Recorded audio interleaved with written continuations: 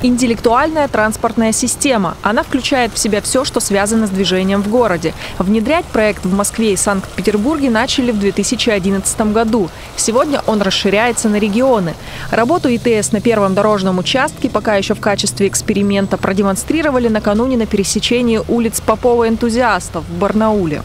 На данном перекрестке установлен э, дорожный контроллер и э, детекторы транспорта.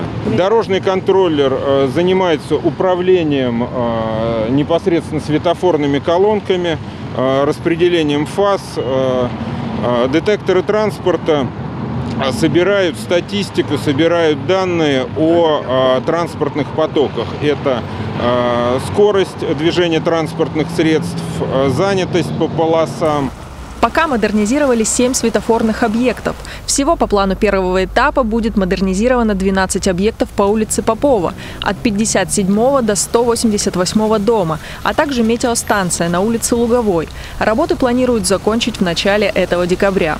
Эта система позволит э, в адаптивном либо в ручном управлении с помощью диспетчера осуществлять дорожное движение.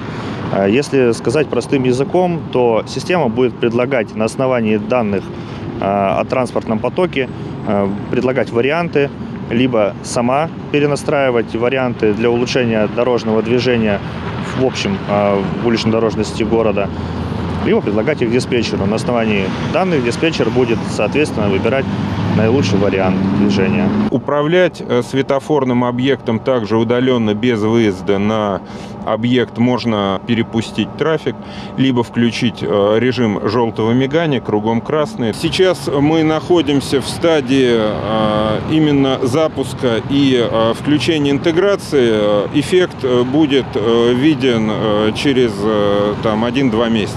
Средняя скорость потока должна вырасти, должны уменьшиться пробки. На развитие ИТС в крае с 20 по 22 годы направили около 300 миллионов рублей. Программа рассчитана до 2025 года. На следующих этапах запланировано модернизировать светофоры на основных магистралях города, построить центры по обработке данных и управлению дорожным движением. Иными словами, должна быть создана единая платформа управления транспортной системой, и все региональные ИТС хотят объединить в федеральную сеть. Юлия Щепина, Дмитрий Денисов. День с толком.